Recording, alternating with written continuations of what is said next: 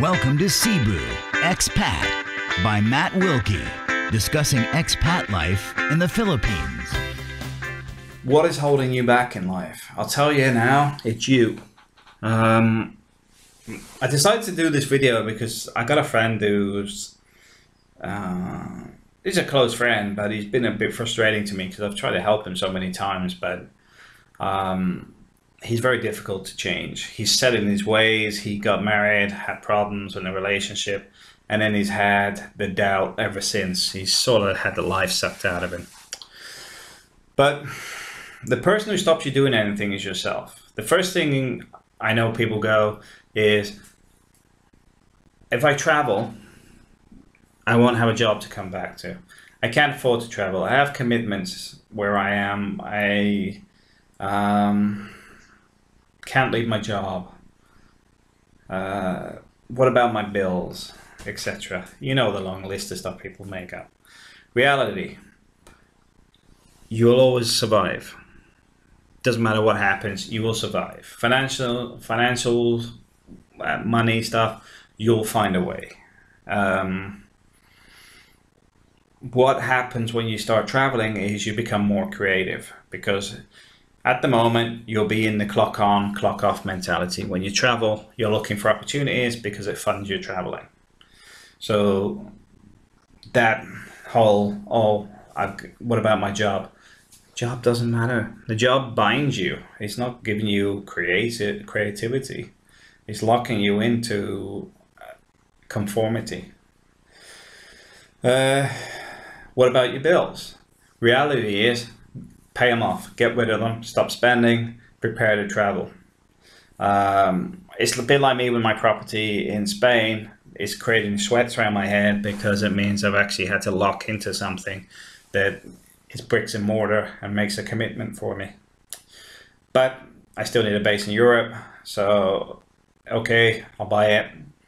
But the next thing is in the future, we'll rent it out if we're not there anyway we don't bind ourselves to brick and, bricks and mortar. We don't allow ourselves to be bound to bricks and mortar. Um, so bills, get rid of them. Credit cards, cut them up. Stop putting stuff on them. Pay them off. Get rid of all your debt. Um,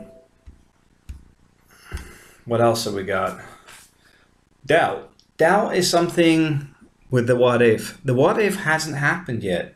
The what if normally happens to people that are stupid. Um, most of the what ifs in the Philippines, because I do talk about some of the bad things that happen to people, have been created by the people themselves.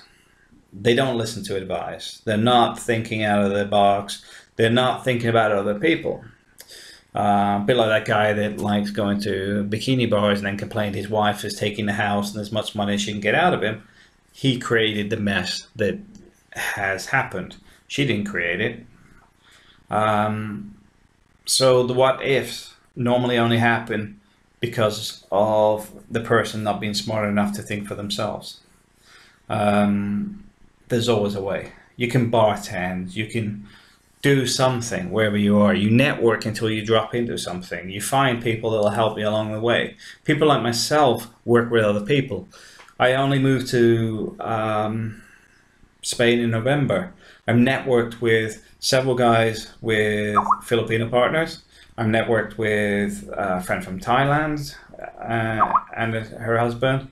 I'm networked with guys from Ukraine, uh, Poland, Dominican Republic, etc., etc. And that's all happened since November. Um, the importance of this is you network, you work as a group, you form up a community that helps each other. They're all in a similar situation. Um, most people I work with these days are not normal people. They're not interested in a nine to five job. They're interested in doing what we're talking about.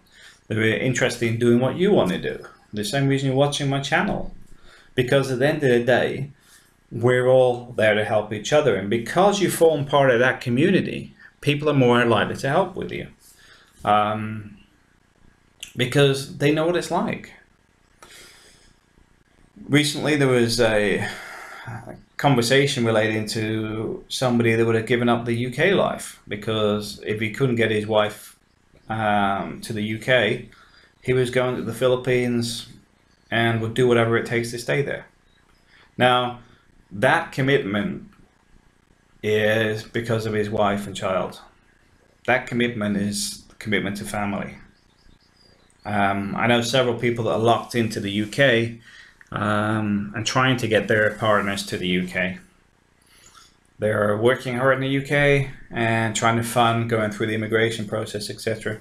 But they are also caught in the what if because they won't get out of work and just make it happen via the Schengen route, whatever. They're the what ifs. Myself, I'm not a what if. I'm a doer. I'm still locked into the UK though, but I moved my family to Spain first.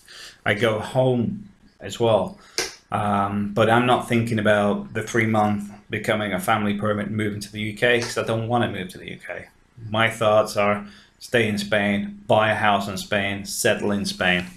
So mine's a 10 year plan, which is also tied into me finishing work and consulting and moving back to the UK, uh, moving to Spain full time. So it's very different, but at the same time, I'm still working. Um, but I'm, like I said, I'm not thinking three years. I'm looking at 10 years. Uh, three months. I'm looking at 10 years. Very uh, different because I have to build a base and build everything out. It's not a case of just sitting there, get a family permit, and come back to the UK and drop back into my old life. So be aware the person that's going to hold you back is yourself. You can make everything happen or you can make nothing happen. Stop talking yourself out of it and start talking yourself into how you're going to do it. Because uh, if you don't, if you don't do it now, you're never going to do it. I'll tell you that now. Because you will look back in 10 years' time and said, oh yeah, I remember Matt said that on that video and I wish I'd done something then about it because now X has happened or now I'm doing it. I've still got another five years. So do it now. Stop planning.